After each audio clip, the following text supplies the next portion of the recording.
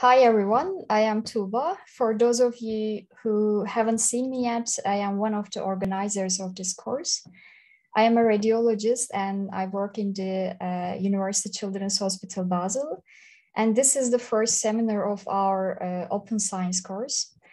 Uh, this year, our seminar series will uh, be held as a part of uh, ReproducibiliTea Journal Club, a Unibas Basel chapter.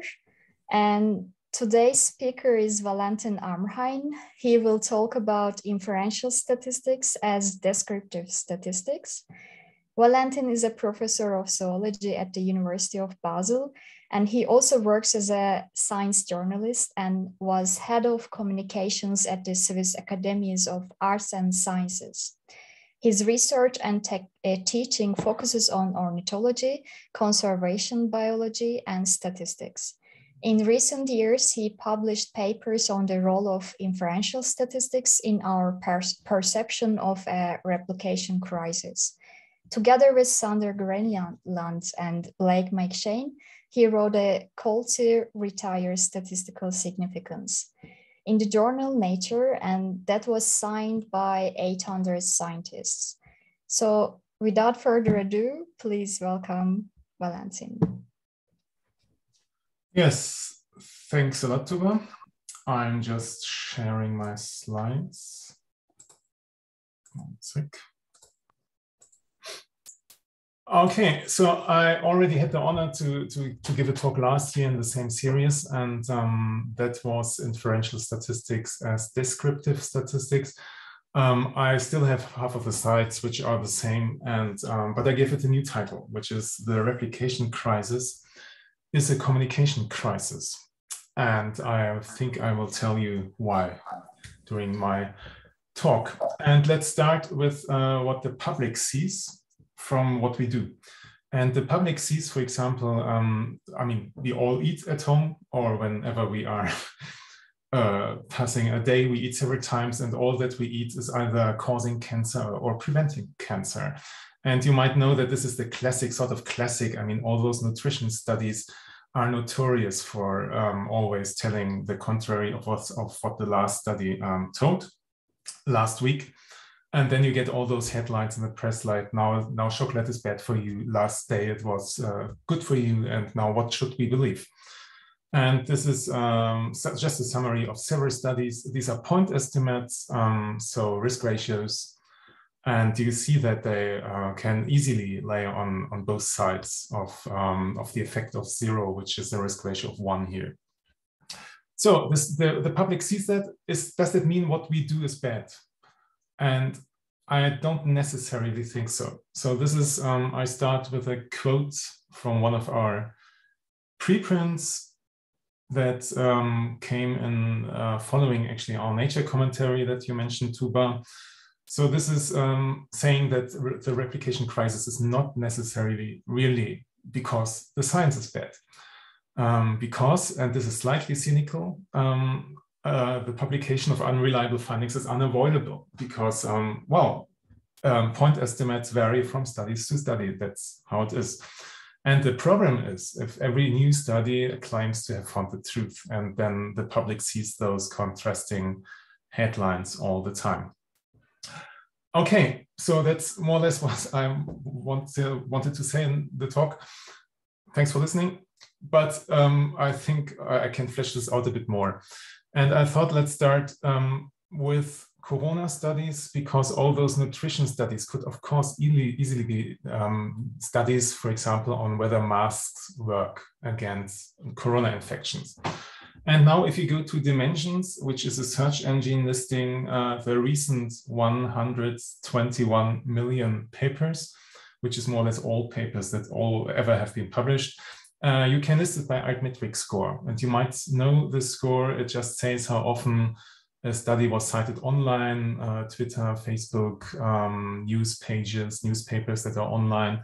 And the first 60 pages, uh, first 60 places in this list are now all occupied by Corona studies or studies related to, to COVID, which is a good thing, of course, because uh, it means that now everybody talks about science, uh, at least since two years uh, all of us are um, sort of experts in many things we are not experts in And on this list, uh, the, the, third paper is the one I'm going to talk about. That's about the effectiveness of um, mask recommendation. It's known as the Danish study on masks. Uh, appeared in early 2020 and is um, highly, highly debated, starting with a claim that the first author gave in New York Times in which he says um, first he can give information based on a study and second what he can give for information is that wearing a mask doesn't help a lot.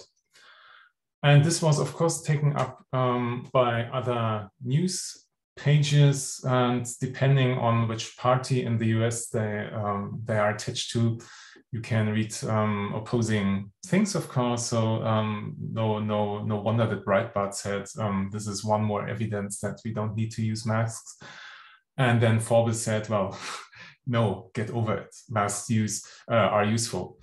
And um, all this discussion in the media, of course, led to this extremely high um, um, Altmetric score. Okay, so let's have a look at what the, the paper actually says. The paper itself is um, much more carefully worded than this quote in the New York Times by, uh, by the lead author. So um, if this quote is correct, he was a bit um, not careful enough, I guess, in this interview. But the paper itself is, is fairly is fairly is fairly good. So what they found is a point estimate of um, an odds ratio of uh, 0.82, which means that in those participants, uh, the ones that gave the gave uh, some reply, wearing masks reduced the risk um, by 18%. Now you can already here ask, well, is this does, is this really not a lot, or is it about 20% decrease of risk on something that might be worthwhile. But this is the point estimate. And then they give the um, confidence interval, interval estimate. And this basically says that in some larger population, which might be Danish people or Copenhagen people here, or we hope um, just humans, um, the data are highly compatible with a, with a about 50% reduction in risk up to a 23% increase in risk. Now, what do we gain from this information? Hardly anything, of course, because it's fairly imprecise, and that's why the p-value is large. Uh, that's why it's not statistically significant. But the data are highly compatible with, I'd, I'd say, a large uh, reduction in risk if you wear a mask, but also strangely with a slight increase in risk. So we can't really say anything, and certainly we can't say that masks don't use, uh, don't uh, uh, don't work a lot because that's the study is too imprecise to say anything like that. Okay, and this was then also discussed on news pages. For example, there's a nice blog by the International Statistical Institute in which a uh, Swedish statistician said that he believes, can read it yourself,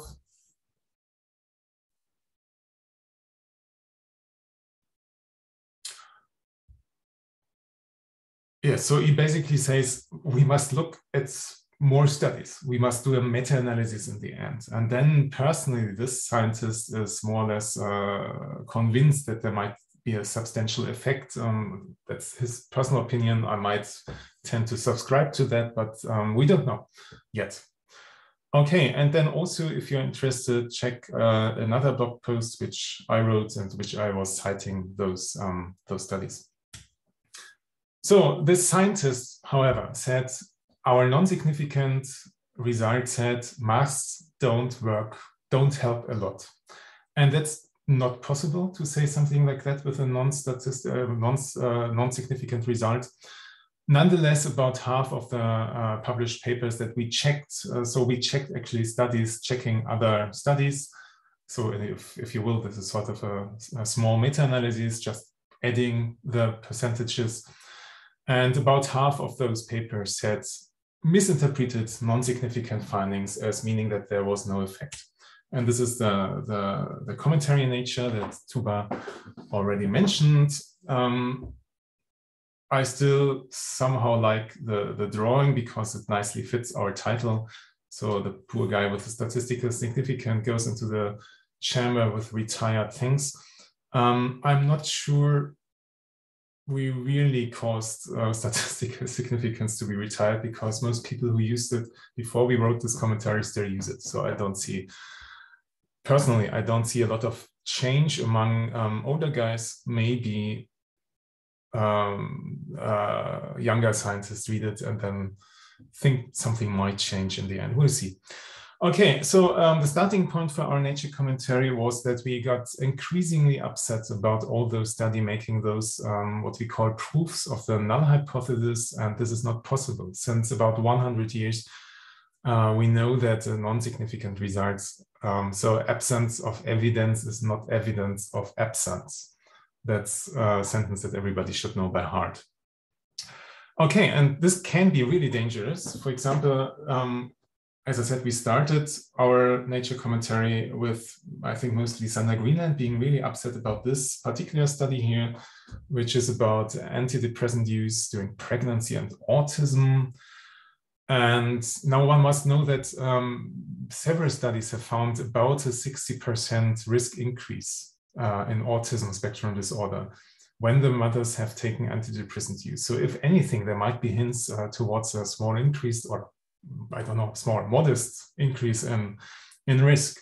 And now the study more or less found the same. So it found an increase of um, a hazard ratio of 1.61, which is a 61% increase in risk. It found a confidence interval, interval estimates covering all from about no risk increase until a huge risk increase of uh, 159%. And nonetheless, in the conclusions, it said compared with no exposure was not. So this association is no association. And that's just an outright lie. So they, they can't, if anything, they have found an, uh, a positive association, but certainly not no association.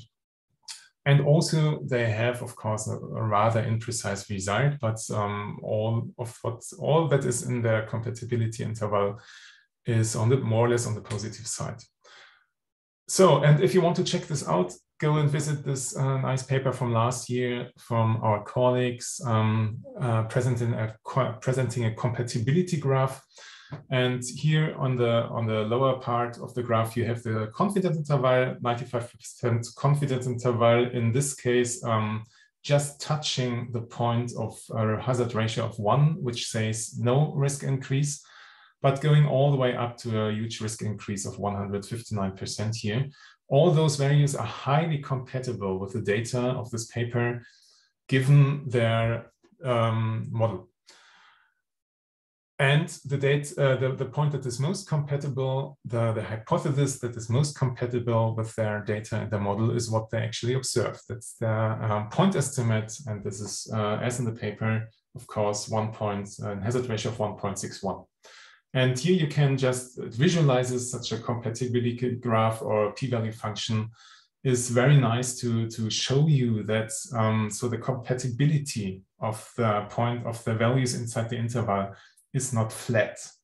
It's just it, uh, it decreases to the limits of the interval and further decreases beyond the limits of the interval. So also the values that are not inside such an interval are of course compatible with your data. They are just not as compatible as the values inside an interval.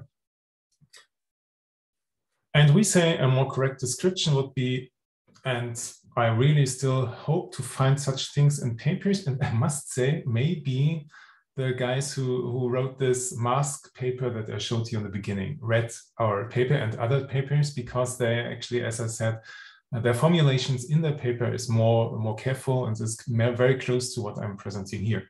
So please write your study saying, given our statistical model, say what you found, what you observed, because that's your point estimate.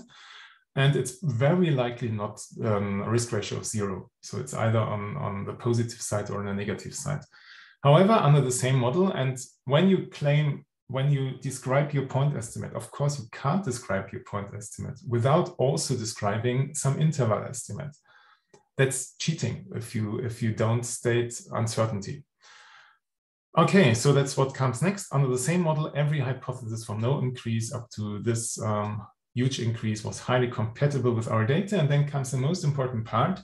After describing what you after describing your data and your model, you should, you must say what others said. And if the other said there was very often a risk increase of about 60%, don't claim that you are now the first one who actually shows that there is in present tense, there is no risk increase. That's simply an outrageous and dangerous lie.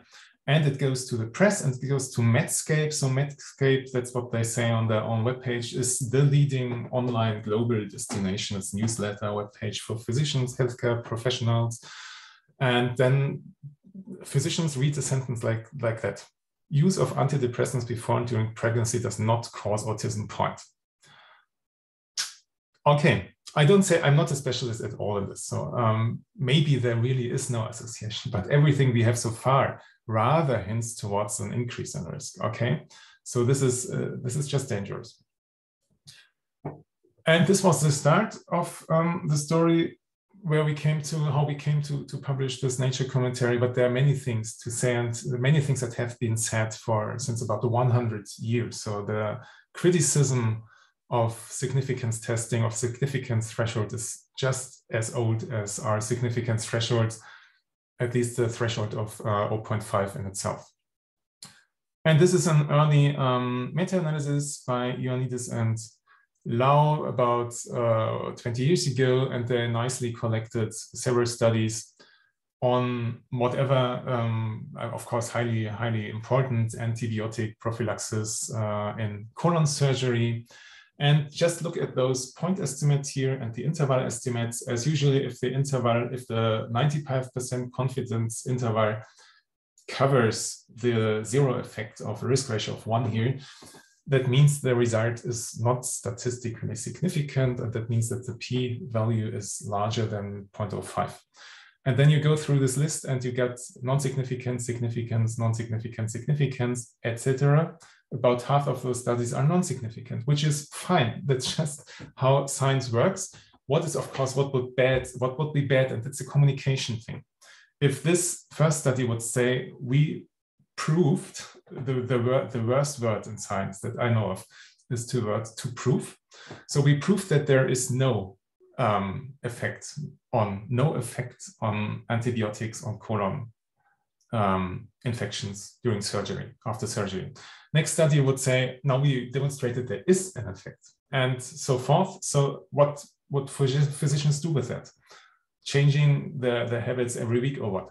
No, what in the end, I mean, why we do science is that in the end, somebody comes and uh, summarizes all those intervals here, does uh, meta-analyses, and in the end, I think um, it's quite clear that there is a positive effect of antibiotics. And this only works, of course, if this nice list of studies also includes all the lists that show either large imprecision or small observed effect sizes. Both lead to high p-values or to non-significant results.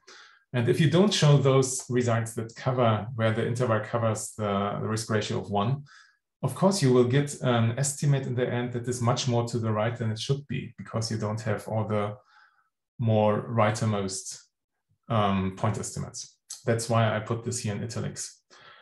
And as you probably know, the big problem is we have um, file drawers. So that's a term that's um, at least 50 years old. Um, there's a bit newer term, the significance filter, and this is a very nice paper from this year for me showing the, the most impressive evidence yet that um, the, the, file drawer, the significance filter, is leading to the file drawer effect. So these are Z values. So it's, um, you know, if you will, standardized estimates. And um, you can see that all those that would be non-significant uh, because they are plus minus two standard deviations from the mean are in the file drawer and not in the, in the literature. Uh, so we could talk for, for a long time now about this, uh, but I, I really like it. and I now show it everybody I meet. The file drawer and the significance filter is a huge problem. Everybody knows that.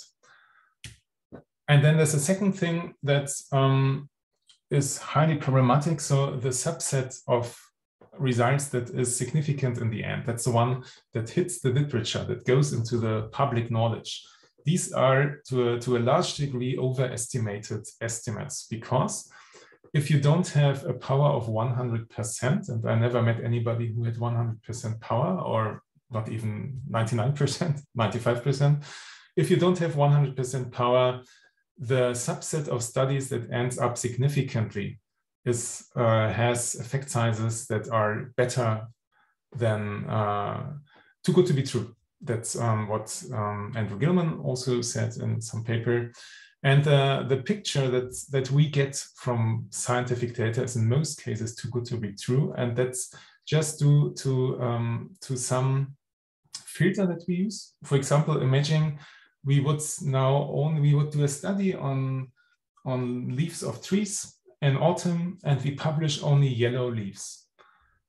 Then of course, what people who read papers infer from that is, oh, in autumn, there are only yellow leaves but we all know no uh, reality is a bit more colorful. But um, whatever filter we, we actually apply is a problem. And in science, we have the problem that almost everybody I know of has a filter of significance.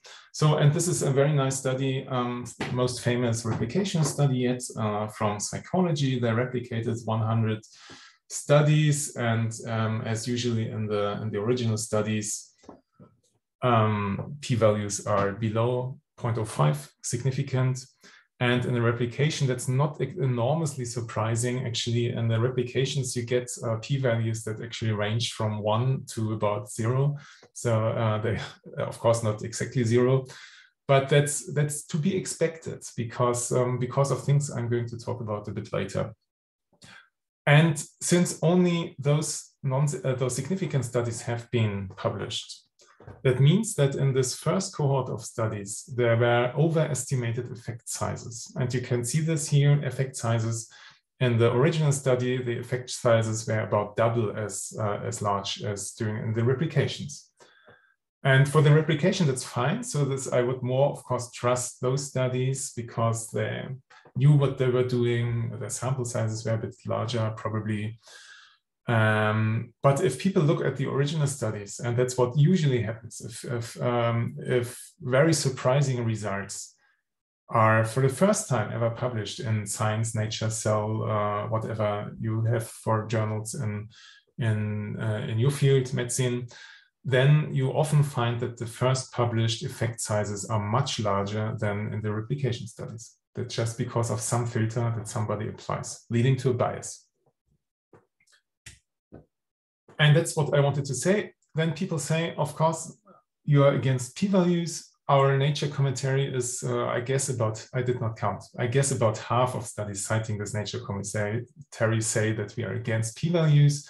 People attack us because we are against p-values, but no, we write in this nature commentary three times that this is not against p-values because the p-value is not unreliable, it's reliably indicating the unreliability of our point estimates. So that's um, that was a, what the p-value is is made for. It just says how how compatible the thing the, that we observe, the point estimate, is with our data and our model. That's all the p-value was meant for. It's becoming a problem if we say um, out of this variety of p-values with doing many replication studies, they are in one study they are large, in the replication they are small. If we then say yes or no because the p-value is large or small, and we call this um, making decisions from every single study dichotomania. And doing this is of course having overconfidence. And that's already a first summary, actually the most important summary um, of what I think. I think science, and it's about communication. It's not necessarily about the methods that we use. Science suffered from overconfidentitis and dichotomania, and that's a summary of what I just told you. Overconfidence and significance leads to the significance filter, also the overestimation of effects arising by the significance filter, also to the file drawer, of course. Then if people on, on, on one side, they think if they have found the small p-values, they, they are able to claim the truth. On the other side, they, they are completely overconfident. If a p-value happens to be larger than 0.05, they make strong statements and they are just impossible statements like there's no effect. Okay, and then third, I think overconfidence in results leads to this partly wrong perception of a general replication crisis. I'm coming get back to this in, in a sec. And fourth, we all know, but we in reality, we don't act like that. Reliable conclusions can only be drawn using cumulative evidence from multiple studies. And for that, it would be very helpful if you would have multiple studies that were not selected um, for some reason, leading to some bias. And one of the reasons why results are selected is, for example, because some and very few, I hope, researchers want to cheat because of fraud. And um, one recent discussion, it's very recent, so actually from uh, this week and last week, was about um, a paper in um, uh, Nature Medicine, a commentary um, about ivermectin research. And it really seems to be the case that uh, in meta-analyses that have been published, they were tending towards saying there is some effect and that this effect really was due to one or two studies were highly questionable. And if you remove those studies, it might happen what many people would expect anyway, that there's um, a very, very modest, if any, effect of ivermectin on, um, on COVID. Okay, um, so this is a, a, screenshot from the blog by Andrew Gelman, um, the guy who's on the paper I was uh, citing in the beginning. Um, probably one of the top, uh, at least one of the top known statisticians in the world and a very skilled writer. And he has what I would call the most important block in this entire discussion about replicability issues, reproducibility issues, if there's any difference. I think there's a difference, but that's maybe leading too far now. Um, and about statistics, of course. So it's really worthwhile. I check this every day. Um, there are two or three blog entries every day. Huge time lag. So we had a, a um, discussion where we participated that was scheduled for beginning of last year and just uh, appeared last week. Okay, so check this out if you want. And the, the, the commentary in Nature Medicine that I was referring to appeared last week, I think. The lesson of ivermectin meta-analysis based on summary data alone are inherently unreliable because what those authors, Lawrence et al., what they tried is to get the data from those two studies on ivermectin that are questionable, and they did not get the data. So they conclude that we propose that clinical research should be seen as a contribution of data. Give us your data rather than your summary statistics. We don't want to see conclusions from your single studies. We rather want to see your, your um, your description of how you collected your data and please your raw data, because then somebody can really try to, to look at, at the studies while um, doing a meta-analysis. Okay. And then last um, month, I think there was another paper that's again a commentary in Nature, um, nicely saying what I think and what I also taught, um, uh, taught you during this talk, expect less of one single scientific paper point. That's the big thing that's, and it's a problem because the incentive, incentives, as you might know, are um, leading and just into the opposite direction. Paper is the thing that paper and strong conclusion is the thing we are paid for. But that's wrong. And somehow we should all work together in changing that. Even large studies, large trials in medicine um, they are just one point in just one data point in the larger image. I'm sorry. Okay. And they say in this Nature commentary, articles by individual research groups should thus be regarded as preliminary by default. And then they say, and it's, um, so I was very happy when I read that because um, we say it, many people say it. We say it since um, at least since 2019. The and we, we we framed it in one title of this paper, which was maybe a bit hard at that time, but I still think it's it's probably true. There is no replication crisis if we don't expect replication. So the, the perceived replication crisis arises because people reflect to recognize that our statistical tests don't only test our single, and most people only test one single null hypothesis of zero effect. No, they test countless assumptions, the entire environment in which research takes place. That's more or less what all those, those other studies that I um, quoted uh, a few minutes ago also say. And then our um, final, my final remark, um, what I ask my students, what I ask myself and whoever I meet, rather than focusing on uncertain conclusions, we should focus on describing accurately how the study was conducted, what problems occurred. Um, then, of course, we can give, I, I, I, still think we should give our summary statistics, um, but we should also give the raw data if, if, uh, if possible for legal reasons or whatever. Um, and that's a strong discussion in medicine, of course, that is different from my field, um, biology, where it's not problematic if you publish, if I publish my data on nightingales. And um, one last story, maybe.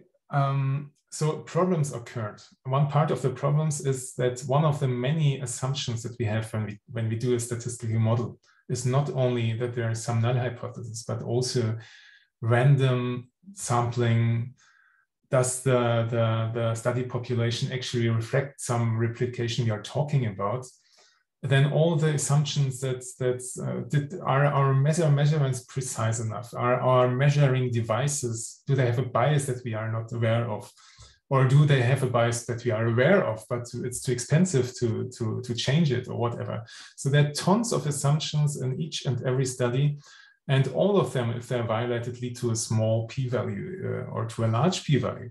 Just influence our p-value. Okay, and um, that's a problem, and that's what I mean with um, discussing what problems occurred. And uh, I, once in my life, I tried to publish a study on the sex ratio in birds. So in birds, it often happens that there are more males than females. And then uh, with my two co-authors, we really thought hard for days what assumptions we actually have behind our entire study. And then we made a list that at some point, I even tried to make numbers to that list. So I think in the study we described in the end, we did not describe each and every assumption, but about 20 or 30 assumptions. And we, of course, we did not check all of those assumptions because that would be impossible. Nobody does it. Nobody even discusses those assumptions. And then guess what happened? Um, well, it's not published. The preprint is out. One referee had good things to say about the analysis. We need to check that. And the other referee wrote about 20 pages listing our 20 assumptions and proving us or showing us for each, each assumption that we did not really check this assumption. And therefore, he had uh, to decline um, uh, to, to, to actually reject or to, to, to suggest rejection of our paper. And yes, and then I said, yes, you're right. We did not check all of those assumptions because that's not possible. We just wanted to describe assumptions that usually nobody ever describes. But it did not help. The paper is still unpublished. Okay. Then if you want, you can even check this out. So this is a webpage, my webpage, then which I, to which I added this year a page uh, reproducibility with a nice picture from uh, the beginning of 2020 from the clinical research day in Basel, to which I was invited to to uh, to to participate in a symposium here. And they so I did not make those uh, t-shirts, but they kindly provided me also with one. I'm the one on the right. And also my webpage, I have um, two initiatives. One of them is the very thing that you are visiting at the moment. So we have, this is the first um, ever as far as I'm concerned, the first ever talk in the ReproducibiliTea series, Journal Club series in Basel. So thanks a lot for the organizers for that. Um, there are now ReproducibiliTeas, I think, in about 150 or so um, institutes all over the world. Then we also have in my field, we have a new society that just uh, had the first online um, congress a few months ago. And then we have in Switzerland the Swiss Reproducibility Network. We are going to have our first in-person meeting tomorrow. So that's also a new thing. And I'm looking forward to discuss those issues with many colleagues. Okay, that's it from my part. Thanks for listening. And I'm happy to discuss all of it with you.